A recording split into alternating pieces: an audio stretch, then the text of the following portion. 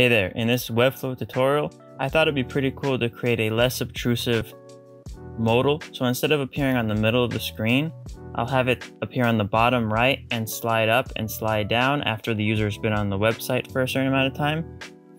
The reason I want to do this is just like in real life, we've all had that situation where we're at our favorite store and within two seconds we have a salesperson coming up to us asking if we're interested in anything. Do you want to look at this? Do you want to look at that? And you're just like, I just want to browse. Well, the same thing applies to the internet, both literally and figuratively. So let's let our users browse our website. So let's create a modal that's less obtrusive and lets them enjoy and browse our website. So the first thing we're gonna do is we're gonna drop in a div block. So I'm gonna do control E, put in a div block.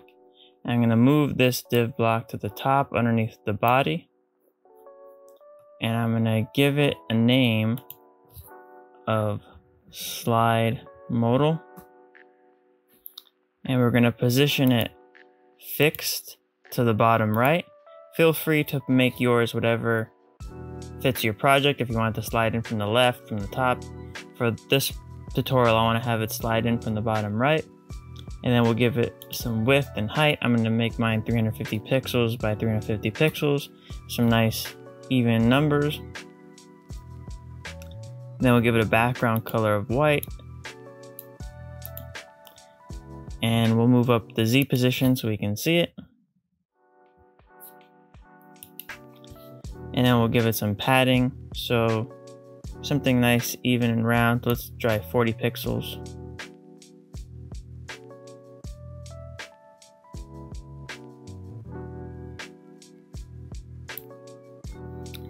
So we'll drop in a heading. And we'll have this say, need to speak to an attorney.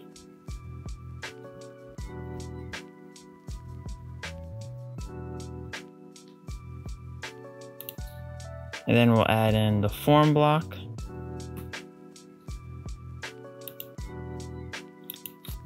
And now let's drop in a link block that will house the close icon that will allow the user to close the modal. So to do Control E, link block. We're going to name this close wrapper. Give it a position of absolute to the top right. And in this close wrapper, we're going to drop in an image. And this image is going to be our X icon. Let's make this width 12 pixels for now. And on the close wrapper, we'll adjust the margin so it's not on the edges. So let's try 12 on the right and 12 on the top. And we'll see how that looks. That's good enough.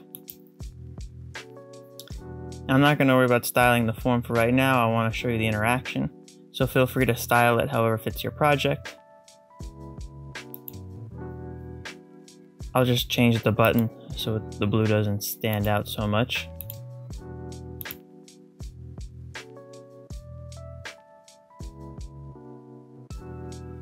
So now what we're going to do is we're going to have it after a certain amount of time, have it slide in.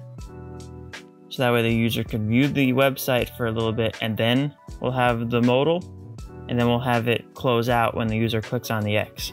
So what we're gonna do is we're gonna go to the slide modal. We're gonna go to set up an interaction. We're gonna go to element trigger and do a scroll into view. We're gonna start an animation and we're gonna call this slide modal up And we're going to have it move. And we're going to set the duration to zero because we want this to be the first interaction. We're going to have it move it down 500 pixels. And then we're also going to set up a hide show. We're going to set it to hidden because sometimes with interactions it can get there can be a little glitchy sometimes so we don't want to have it where as soon as the user clicks on the website it sees it for a second and then it goes away so we're going to set the default to be hidden And then afterwards, we're also going to set the modal itself to be hidden on the navigator. So then we're going to take this move and put it with the hide show. And then we're going to add another hide show. Set the delay to three seconds. So it will appear three seconds after the user's been on the website. Set the display to show. And then we're going to add a move that will go with the three second hide show. Set the duration to one. Now I'm just using what I like to do for interactions. Feel free to adjust the duration or the easing to whichever you prefer. I'm going to set the easing to out quart. And I'm going to set the position to zero pixels. So that way it will look like this. and it slides up. Now we have to animate it so when the user clicks on the X link block, it slides down. So hit save. And then we'll go to our close wrapper link block. Go to the interactions tab. Set up a mouse click interaction. Start an animation and we'll call this one close modal. And then we're not targeting the link block, we're closing the entire modal. So before we set up an action, let's grab the entire modal and then set the action to move. Have the duration to one second. I'm gonna make the easing this time to in quart since it's reversing the coming in interaction and I'm gonna have it go down 500 pixels.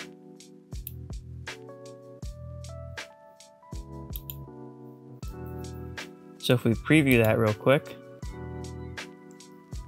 it slides in, we're gonna close on the X, and it slides down. And sometimes the Webflow interactions and animations, there could be some glitches. So I always, I'm gonna go to the slide modal and I'm going to set the default in the navigator to be hidden and then because we have it appearing as part of the interaction. So if we check out the previewed site, we don't see it. We're going to wait our three seconds and then it's going to appear and we'll close it. And there it is, a simple sliding modal that's less obtrusive than just appearing in the middle of the screen. Thank you for watching. Enjoy the rest of your day.